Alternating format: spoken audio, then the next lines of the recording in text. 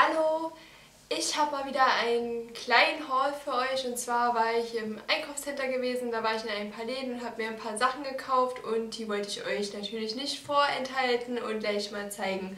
Nicht wundern, das ist heute das zweite Video am einen Tag, deswegen habe ich noch dieselben Sachen an, dasselbe Make-up und genau, hatte jetzt keine Lust, mich extra nochmal umzuziehen oder so. Ja, da fange ich auch mal wieder gleich an. Und zwar war ich bei New Yorker gewesen. Und ich hatte ja heute total Lust, irgendwie so Frühlingssachen zu kaufen. Und äh, ja, bin irgendwie die ganze Zeit so bei Grün hängen geblieben. Und da habe ich mir dieses Basic-Shirt hier, so ein Langarm-Shirt. Genau, also ein ganz normales Langarm-Shirt äh, aus so einem, oh wie heißt denn das, so ein, genau, so ein Rippstoff ist es nämlich. Also es ist so elastisch. Und seht ihr das? Die Farbe, das ist so ein richtig schönes Grün. Und ja, das finde ich richtig toll. Das kann man jetzt halt auch noch anziehen, weil es sehr langarm ist, aber es läutet schon so ein bisschen den Frühling ein und deswegen finde ich das total schön und das ist aus der äh, Fishbone Sister Kollektion, das ist jetzt wohl irgendwie was Neues und das kostet 12,95 Euro. Und hier vorne bei den Knöpfen, weiß nicht, ob man das so sieht, da ist hier nämlich auch so ein, wo war denn das? So ein Glitzerknopf und ja, das finde ich eigentlich sehr süß. Da habe ich mich auch sehr gefreut drüber. Dann mal gucken, was ich hier noch so Schönes habe. Ach ja, da war ich noch bei H&M drin gewesen. Und da habe ich mir zwei Hosen gekauft. Die waren nämlich ein Angebot. Die habe ich nämlich schon in, in, in, in dunkelbraun. So sieht die aus so eine beige Hose, also eine ganz normale lange Hose aus Stoff. Und ähm, das Besondere an der Hose ist, die macht man nicht irgendwie hier vorne äh, auf oder zu, sondern an der Seite hat die hier so einen Reißverschluss. Und deswegen, die hat auch hinten keine Taschen und dann macht die auch einen ganz schönen Po. Und ja, die finde ich supi, weil die habe ich auch schon in einer anderen Farbe. Und die war gerade im Angebot und hat nur 5 Euro gekostet.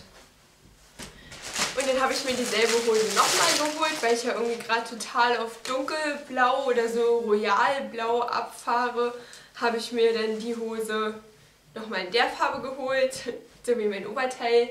Ja, und die hat natürlich auch 5 Euro gekostet und das fand ich richtig, richtig cool. So, dann... Achso, dann habe ich mir noch Unterwäsche gekauft bei H&M, die zeige ich euch jetzt aber nicht. Und weiter geht's. Dann war ich nämlich noch äh, bei Deichmann gewesen, aber nicht weil ich Schuhe brauchte, sondern ich wollte nämlich unbedingt eine Frühlingstasche haben und ich finde bei Deichmann, da haben sie immer richtig schöne Taschen, die auch also sehr preiswert sind.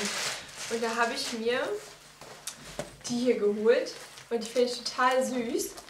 Ich kann die Farbe nicht beschreiben, weil eigentlich ist es ja so ein fast Mintgrün, aber irgendwie mit so einem Blaustich drinne.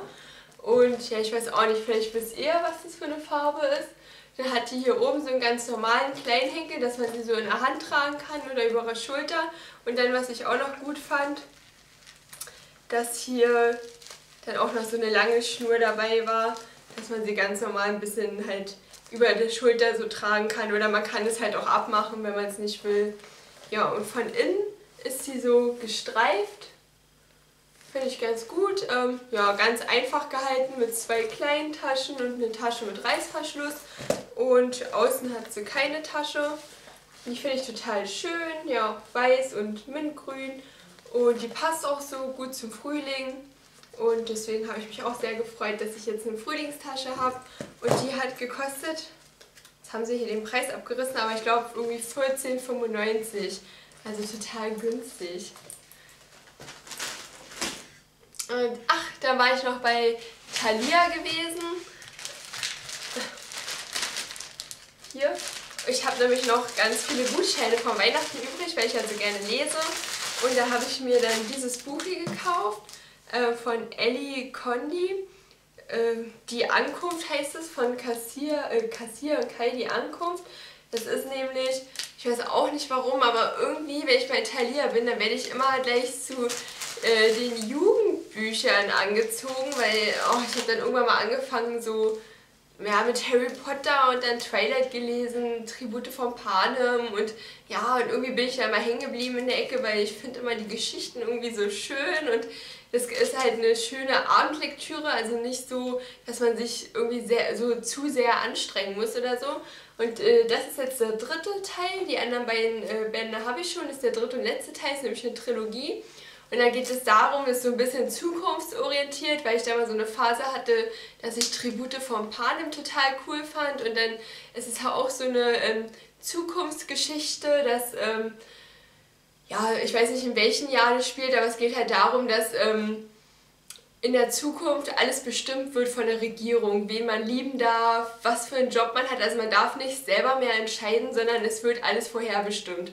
Und dann ist da dieser ähm, Kassier und die äh, wehrt sich dann halt ein bisschen dagegen, die verliebt sich dann in jemanden anderen und möchte halt alles dafür tun, um mit denen zusammenzukommen, obwohl sie es ja eigentlich nicht darf, weil es anders vorgeschrieben ist, ja, und darum geht es dann halt um die Liebesgeschichte, wie die beiden dann irgendwie das System äh, besiegen und zueinander finden können. Also falls ihr auch auf so ein äh, ja, Fantasy-Kitsch-Liebesroman steht, dann könnt ihr euch die auf jeden Fall holen. Die sind richtig gut, kann ich empfehlen, die Bücher.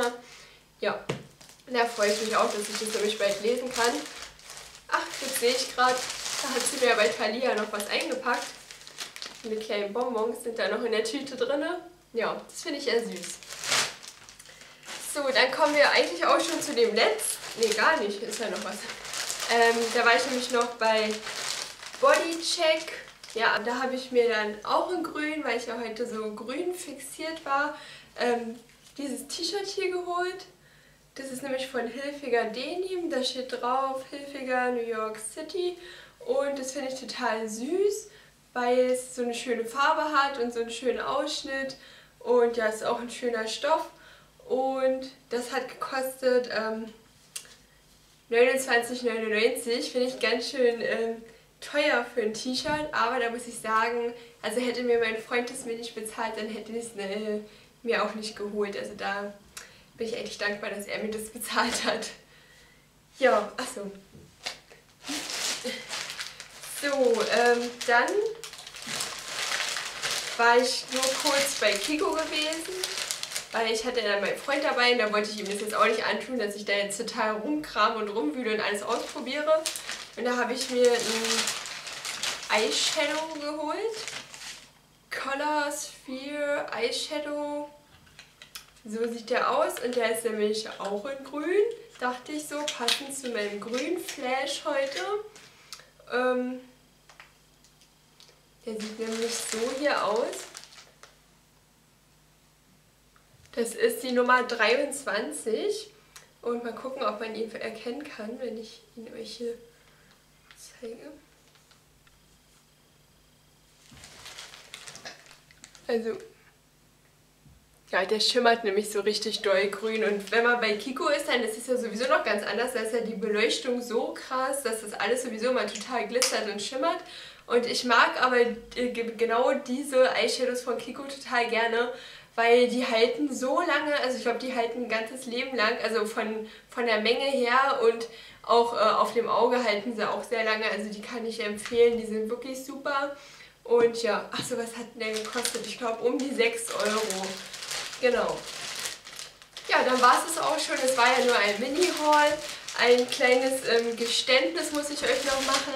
Ich war nämlich ganz kurz bei DM drin, aber wirklich nur kurz. Ja, ich habe mich so zusammengerissen, ich habe alles andere ausgeblendet und bin nur dahin gegangen, was ich auch wirklich brauchte. Und zwar hatte ich mir noch in meinem letzten DM-Haul diesen Augen-Make-up-Entferner von äh, Alverde geholt. Und der ist ja richtig Schiete. Also äh, den kann ich eigentlich auch gleich in eine Tonne kloppen. Also wenn ich mal ein Flop-Video mache, dann ist der auf jeden Fall dabei, weil da kann ich auch, ach keine Ahnung, da kann ich auch ganz normale Creme nehmen und mir die Augen abwischen, dann bleibt genauso viel dran. Deswegen habe ich mir jetzt den hier geholt von Maybelline Jade. Waterproof äh, Spezial, und sanft wasserfestes Augen-Make-up. Und das sind so eine zwei Phasen, blaue Phase mit Expresswirkung und klare Phase zur sanften Erfrischung. Und den probiere ich heute mal aus. Ich hoffe, dass der wenigstens gut ist. Und ja, genau. das war's auch schon. Es war mal ein kleiner Mini-Haul, so äh, Mischmasch-Haul und ja, ich hoffe, es hat euch mal wieder ein bisschen gefallen und ja, wie gesagt, wir sehen uns. Ich freue mich ganz doll, dass ich schon so viele Abonnenten habe und ich freue mich immer, dass ihr so süße Sachen schreibt. Also ich finde das so toll, dass ich immer so ein, ein richtig nettes Feedback bekomme. Es gibt einen, also dann macht es einem nämlich noch mehr Spaß und am liebsten würde ich jeden Tag Videos machen, aber jetzt müsst ihr erstmal wieder ein bisschen warten, weil am Montag beginnt bei mir schon wieder die Arbeit und da kann ich natürlich nicht mehr so viele Videos machen. Und ja, dann sage ich jetzt auch mal Tschüss, schönes Wochenende noch für euch oder Restwochenende und wir sehen uns bald wieder. Tschüssi!